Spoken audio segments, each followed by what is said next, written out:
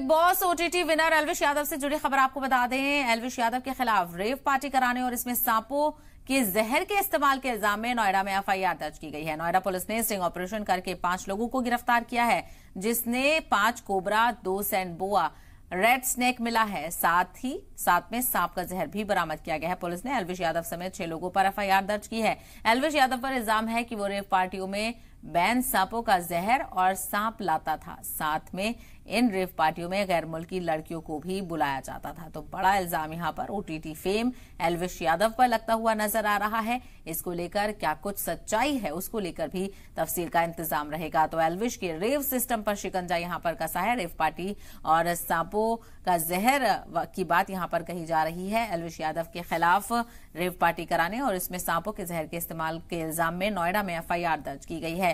Noida police ने sting operation करके पाँच लोगों को गिरफ़्तार किया है। जिस, जिसमें पाँच कोबरा दो सैनबोआ रेड स्नेक भी मिला है। साथ में सांप का जहर भी बरामद किया गया है। पुलिस ने अलविश यादव समेत छह लोगों पर एफआईआर दर्ज की है। अलविश यादव पर इल्ज़ाम है कि वो रेप पार्टियों में बैन सांपों का जहर और सांप लाता था।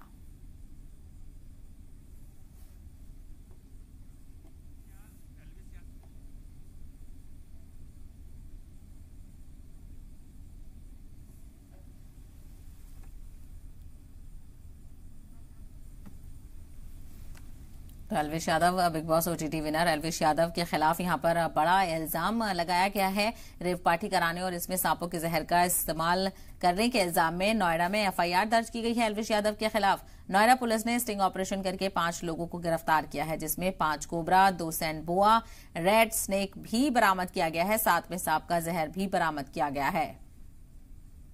राहुल की क्या भूमिका रही है सर? राहुल पकड़ा गया है राहुल के पास से सब कुछ बरामद हुआ है राहुल पकड़ा गया है और उसके पास से ही सब कुछ बरामद हुआ आप लोगों ने एक स्टिंग ऑपरेशन भी किया है पीएफए के साथ मिलके। उस इस स्टिंग ऑपरेशन में क्या जानकारी मिल पाई है? बहुत सी विवेचना का विषय है जो कि मीडिया के सामने डिस्क्लोज करना हमारे लिए उचित नहीं हुआ। ये रेव पार्टी के लिए क्या राहुल ही संपर्क करता था या राहुल के ज़रिए संपर्क कराया जाता था?